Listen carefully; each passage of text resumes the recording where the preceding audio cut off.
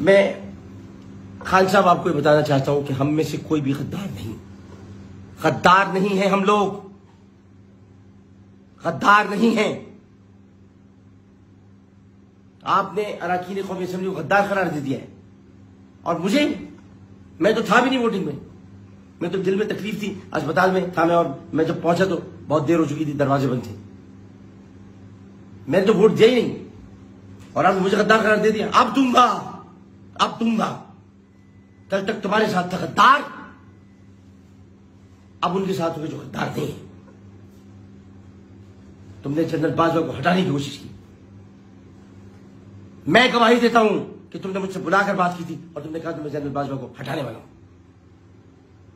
बहुत बड़ी बात कह रहा हूँ। और भी बहुत कुछ जानता हूँ। अगर बता दिया तो क्या बता जाएगी। चुप बैठा हूँ चुप। तुम्हारी तरह नहीं हूँ।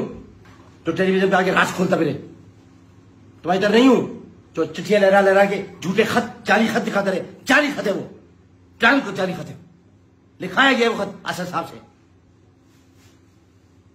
और शाह महमूद कुरैशी शामिल चुप हूँ तो चुप रहने दो, चुप चुप चुप रहने दो, चुप। और तुम भी चुप।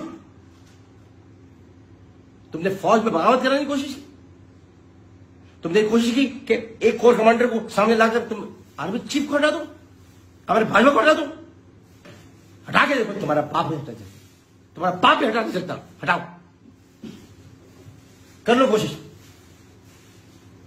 और जो डेंटिस्ट बैठा हुआ है ना डेंटिस्ट एवानी सदर में डेंटिस्ट उसको बोलो दादा यही करना छोड़ दे। और उल्टे सीधे अहकाम जारी करना छोड़ दे।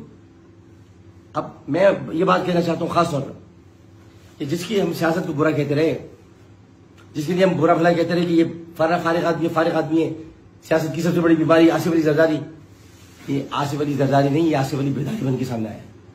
अब ये मत कह देना, मैं उसके साथ मिला हूँ।